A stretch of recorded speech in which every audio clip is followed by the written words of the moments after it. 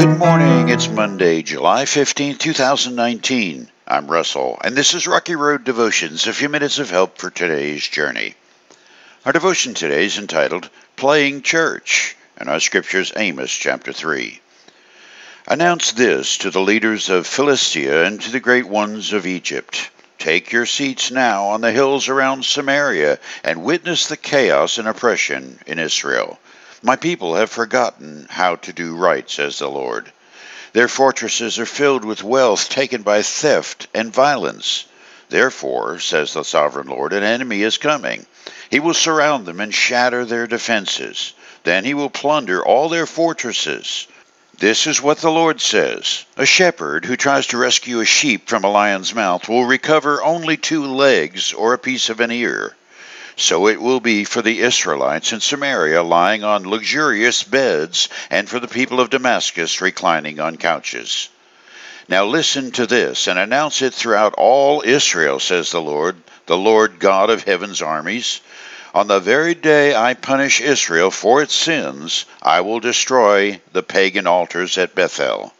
The horns of the altar will be cut off and fall to the ground, and I will destroy the beautiful homes of the wealthy, their winter mansions and their summer houses too, all their palaces filled with ivory, says the Lord.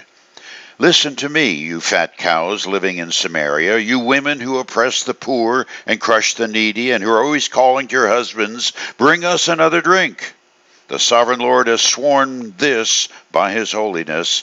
The time will come when you will be led away with hooks in your noses. Every last one of you will be dragged away like a fish on a hook.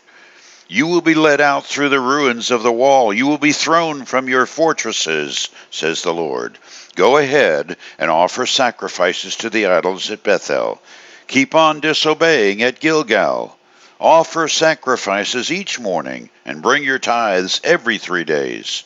Present your bread made with yeast as an offering of thanksgiving. Then give your extra voluntary offerings so you can brag about it everywhere. This is the kind of thing you Israelites love to do, says the sovereign Lord. When God extended the invitation to Egypt and Philistia, arch enemies of Israel, to take a front row seat and watch the humiliation of defeat that God was engineering to straighten out his rowdy children, it should have brought waves of fear in Jerusalem and Judea. If anyone knew what the powerful wrath of God looks like in action, it was the children of Abraham. These former slaves, people who had nothing, were led out of Egypt by Moses and a miraculous GPS cloud by day and pillar of fire by night. They watched as the Red Sea swallowed Pharaoh's stormtroopers who were in hot pursuit. They saw 23,000 of their fellow Israelites swallowed by the earth's crust and fire when Korah led a rebellion against Moses.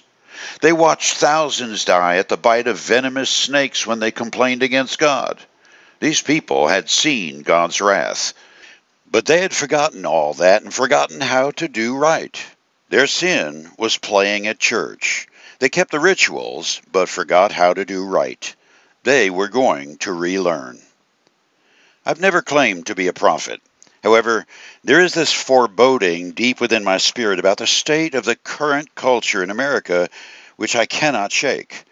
It has amazing parallels to Israel of old, those who were blessed by heaven's hand and descended into hell's ways. They saw ways to accumulate wealth by oppressing others. They refined and strengthened their hold on the weak in order to become stronger, lazier, and increasingly self indulgent. Justice was a laughable joke, and the powerful saw to it their power would require others to look to them as God. Now, the parallel I fear most in the comparison of America as the new Israel is we have the old Israel same mindset accumulation of power, wealth, and the ability to keep others under control.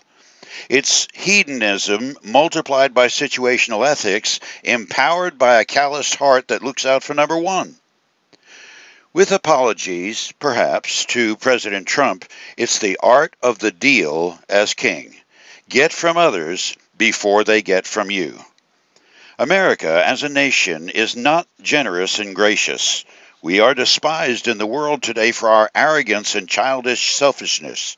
We dole out a bit of our resources here and there to the poverty stricken third world countries, but it's little more than dangling the carrot in front of the enslaved mule to make sure he keeps walking to the beat of our drum.